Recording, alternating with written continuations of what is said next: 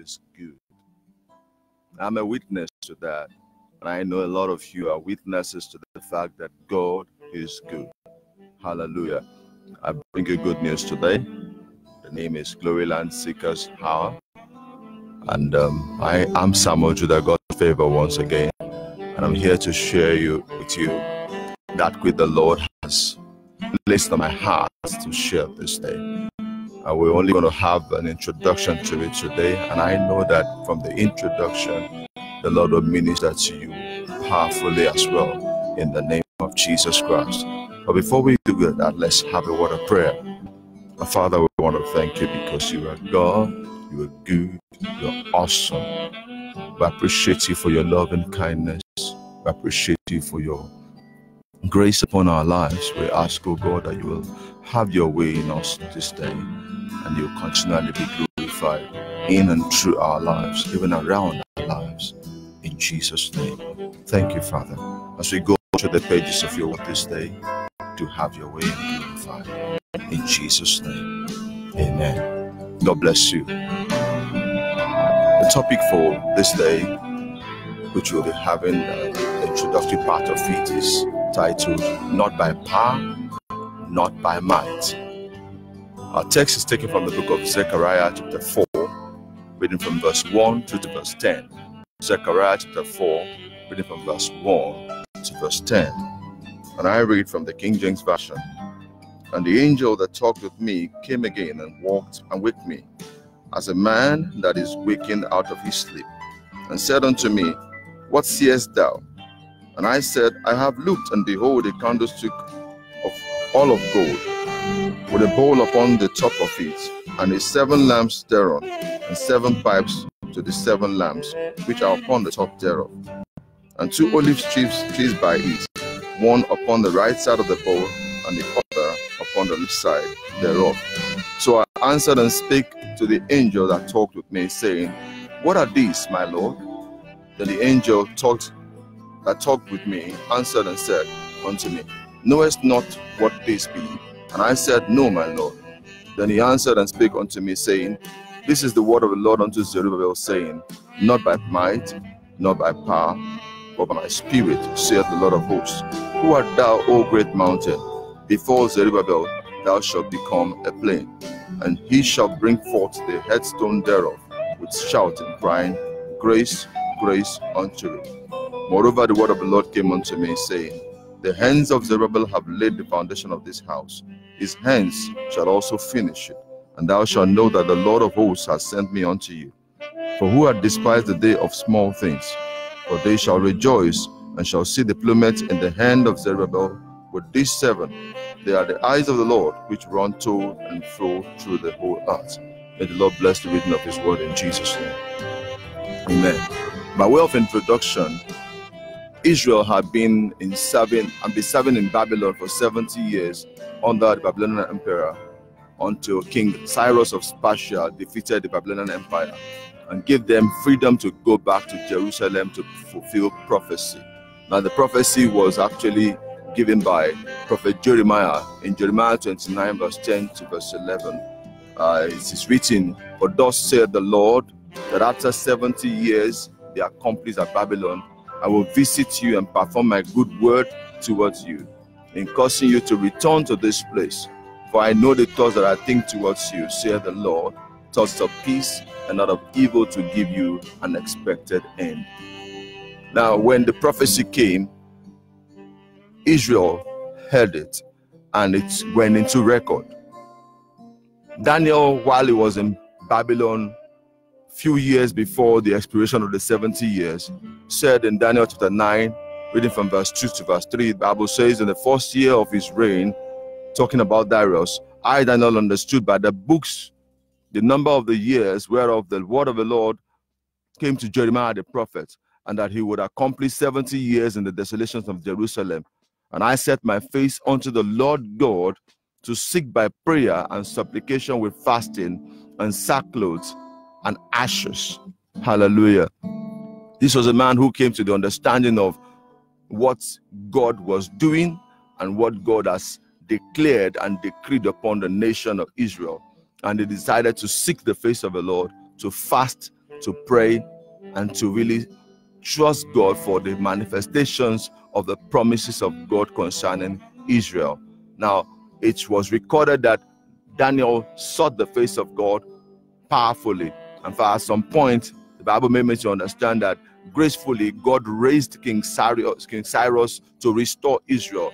Now, concerning Cyrus that God used to restore Israel at the expiration of the 70 years, the Bible said concerning Cyrus, a, a Gentile king, the king of Persia. The Bible says, thus in verse, and uh, verse 28 of Isaiah 44, the Bible says, that saith of Cyrus, is my shepherd, and shall perform all my pleasure even saying to Jerusalem, Thou shalt be built, and to the temple, thy foundation shall be laid. God raised up a hidden king to restore Israel to their promised land. Now, the, the, the, the challenge there is if a man could be found to intercede on behalf of the land, God could do wonders. If God could raise a man in you, a vessel in you to, to, to intercede on behalf of the nation, on behalf of the family, on behalf of the church. You can imagine what amazing things God can do. He could even use even unbelievers to bring the promises to fulfillment. The question is Is there a Daniel in you praying for liberty from captivity?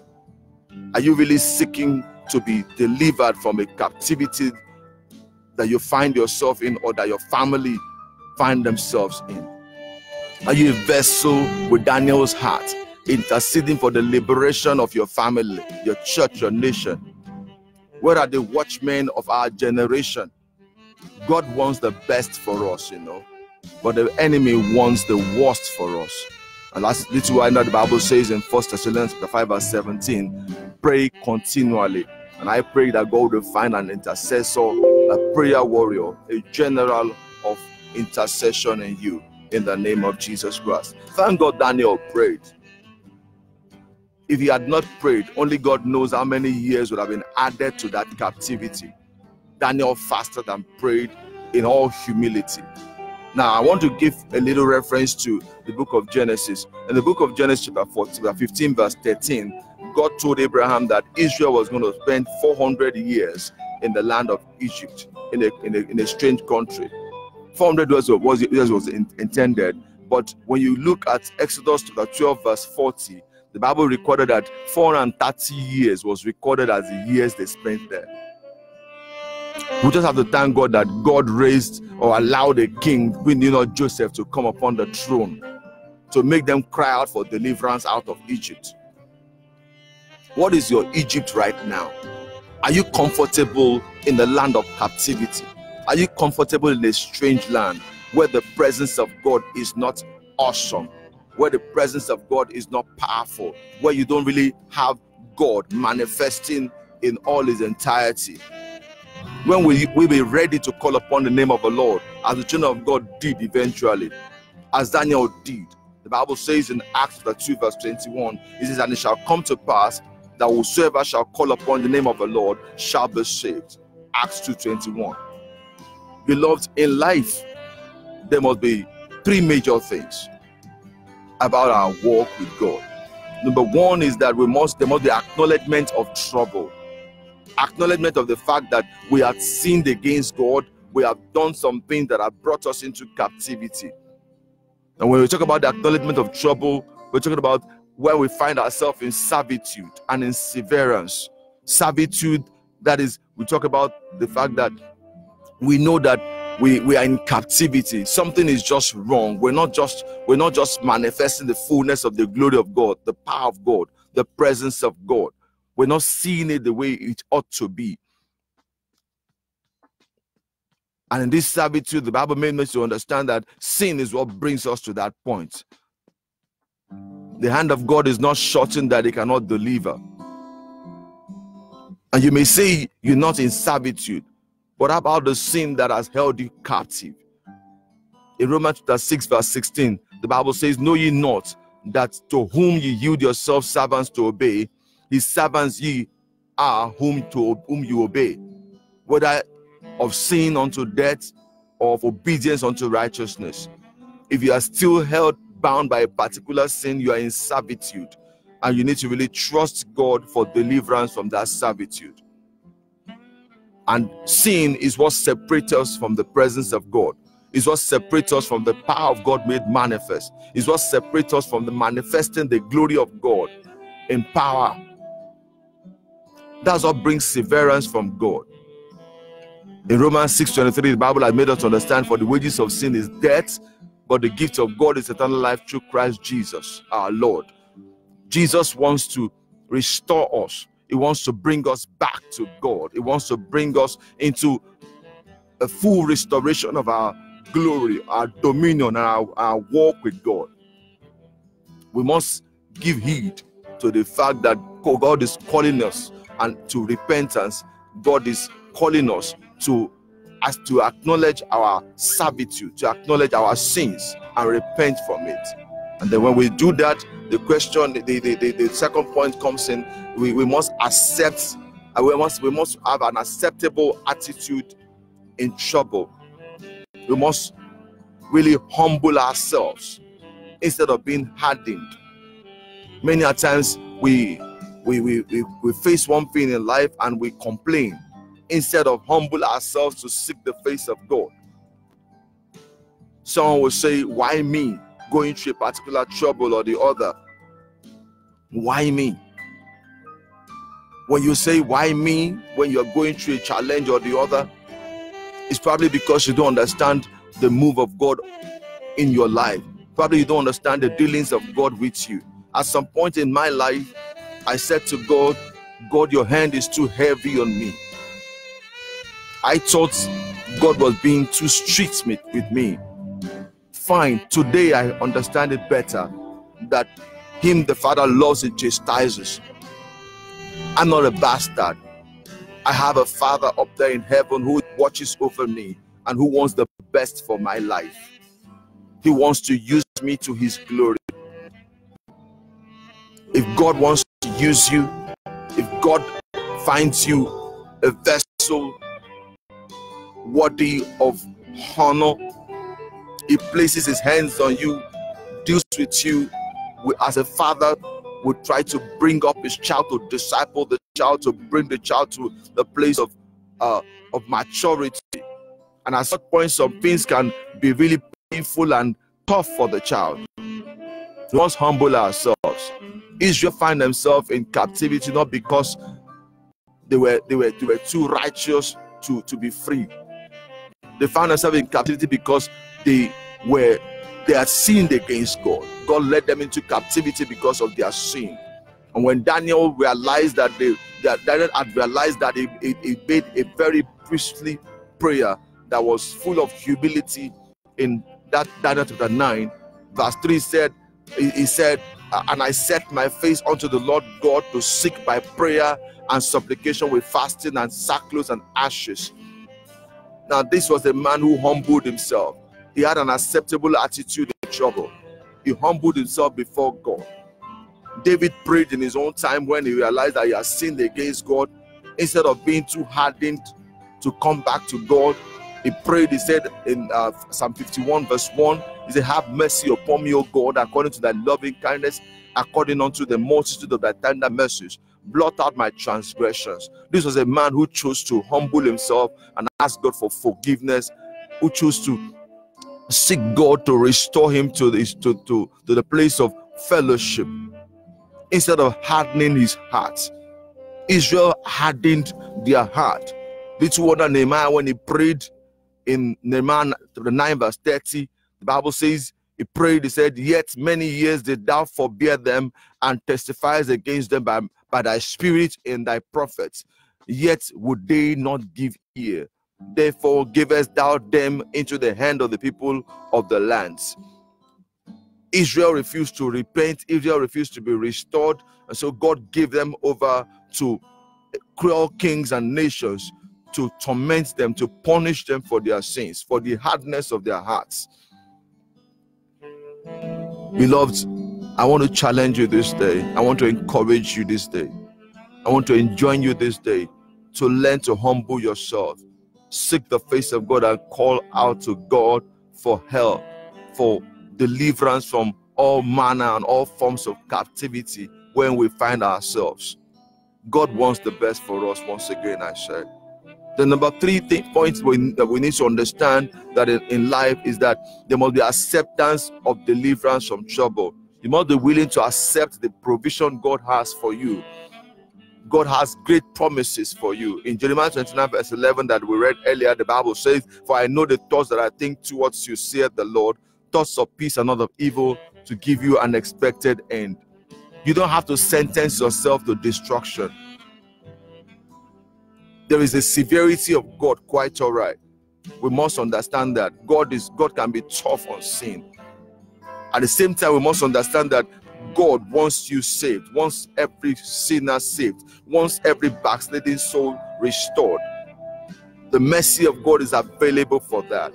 God has made provision for our restoration into into into the fullness of his glory and presence and joy. Do not sentence yourself or allow yourself to be sentenced because of sin. In Romans chapter 1, verse 18, we have a, a very tough record there that humans, people decided to be hardened, to sentence themselves into what was not palatable, what was not God's plan for their lives. In verse 18, is in that Romans chapter 1, it says, For the wrath of God is revealed from heaven against all ungodliness and unrighteousness of men who hold the truth in unrighteousness. That's because there is the severity of God. He said, verse 21 says, Because that when they knew not God, they glorified him not as God, neither were thankful, but became vain in their imaginations, and their foolish heart was darkened. Beloved, we must wake up to righteousness. Verse 28 makes us understand that even as they did not like to retain God in their knowledge, God gave them over to a reprobate mind to do those things which are not convenient. At the end of the day, Bible recorded in verse 22, it says, Who knowing the judgment of God that they, they which commit such, such things are worthy of death. Not only do they do they the same, but they pleasure in them that do them. So God understood, God knew that they decided to sentence themselves to destruction. God is not pleased that anybody should be destroyed, but God wants us to be saved. God wants us to be restored. Don't sentence yourself. You find yourself in a particular sin. Don't don't just stay there. Wake up. Stand up from there. You fall into sin. Arise. Arise. Though you fall seven times, rise up. Keep rising up you will stand someday. The grace of God is available for that. God wants to restore to restore you. God wants to keep you strong in Him. He wants to save you. He doesn't want you to continue in the land of captivity. He wants to restore you to your promised land. He, if at all you have never been in the promised land, He wants to bring you to the promised land He has made and prepared for you. God wants us saved. God is a loving and a compassionate God. Jesus will never reject a penitent sinner while yet alive. In Luke chapter 19, verse 10, he said by himself, For the Son of Man is come to seek and to save that which was lost. You and I. Jesus came to this world to save us. In John chapter 10, verse 10, he said, the thief coming up above to steal, to kill, and to destroy. But I am calling that they may have life and have it more abundantly. Abundant life is one of the provisions of God for us. To live forever, not to die at the end of our tenure here on earth. And because of the purpose of his mind that made him come to this world, He continues interceding for us after he has ascended to heaven and stood at the right hand of the Father.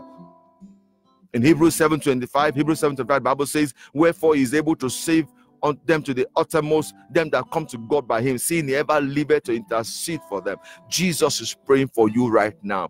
Jesus is praying for us right now. We must key into the intercession of Christ for humanity. We must key into the plan and the program, program of God for you and I. Why would he perish when Jesus paid the price? Why would you continue in the land of captivity when the land of the promised land is available and yet to be inhabited? A lot of things have to be done in your promised land. You need to break up your fallow ground. Why would you continue in captivity when there is freedom in Christ Jesus? That sin cannot continue to hold you bound if you're willing to step up to the new level where God wants you to be the level of sonship, the level of dominion, the level of righteousness, the level of standing in righteousness and abiding in faith, pleasing the Father, not being a man seeker, but a God pleaser. Why stay down in sin when you can rise up from it through the grace of God, which abounds in Christ Jesus? The Bible says in John chapter 1, verse 14, John 1 14, Bible says Jesus came full of grace and truth. He came full of grace and truth. And that grace and truth is available for you and I. Why not shake up the beast of sin and every form of unrighteousness into the fire of holiness and righteousness by the Holy Ghost this day? God is calling you. Come out of captivity, come out of that sin. Begin to pray now begin to cry out to God now for your deliverance from captivity, deliverance from sin, deliverance from everything that has held you bound hitherto. And if you are saved already, you are baptized already, you are called, you are called upon the name of the Lord already, don't forget your family. Don't forget your loved ones. Don't forget the hidden nations. Don't forget your country. We need to come out of captivity and not come out alone. We need to come out in mass. We need to deliver souls with passion from the bondage and captivity of sin and from the doom that is pending over their lives. We love that challenge you this day. Let's wake up. Let's come out of our captivity. Whatever sin that has held you bound, whatever thing that is, that is still keeping you comfortable in Egypt, I pray that God raise something to stir you up from it to wake you up and jack you up. That's not where God wants you to be. God wants you in the promised land. He wants you in your promised land. He wants you delivered. And I pray that as you wake up to this challenge, as you wake up to seeking the face of God this day, God will walk on your life and deliver you completely in the mighty name of the Lord Jesus Christ. It shall be well with you Mind we pray together right now. Our Father and our God, we want to thank you. You are good to us. Your mercies endures forever. Thank you for these ones that have heard your word. I pray you work on them. I pray you take over their lives. Thank you for that soul that is crying for help now. I pray you deliver that soul. Lord, touch that soul.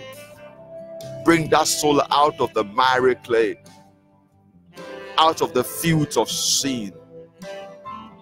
Yes, that unrighteousness, that immorality. Bring her out, yes, Lord. yes, deliver that soul. Deliver that young man now. In the mighty name of Jesus, set him free. Set him free. Thank you for that lady that's crying out now, asking that you set her free from immorality, from that addiction. Lord, set her free. Receive your freedom now. Receive your freedom. Receive your deliverance in the mighty name of our Lord Jesus Christ. Oh, thank you, Jesus. Thank you, Jesus. Thank you for what you're doing right now in the lives of these souls. Thank you for that intercessor. Let him wake up to a glorious walk with you. Strengthen his feeble hands and knees. Thank you, Lord Jesus. Do have your way continually in our lives.